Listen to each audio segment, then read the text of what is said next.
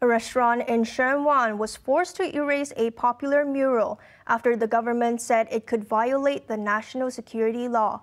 But Home Affairs Minister Alice Mak denied cracking down on freedom of expression.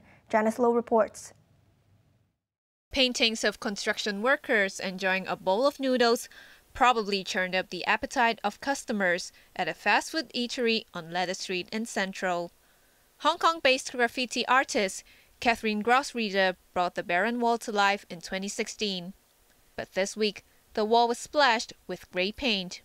Speaking on a radio program this morning, the manager of the eatery, surnamed Ho, revealed that representatives from the Central and Western District Office warned him that the graffiti might constitute a breach of the national security law.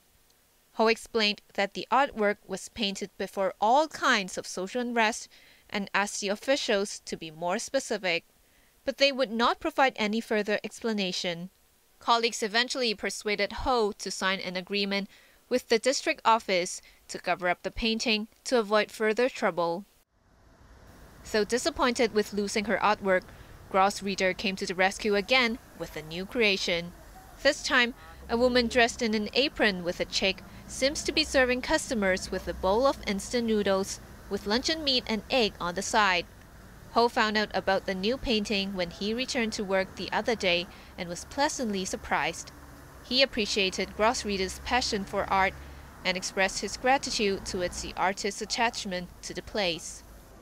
Meeting the press this afternoon, Home Affairs Minister Alice Mak denied forcing the operator to remove the mural, saying they could choose not to act on the government's friendly reminder.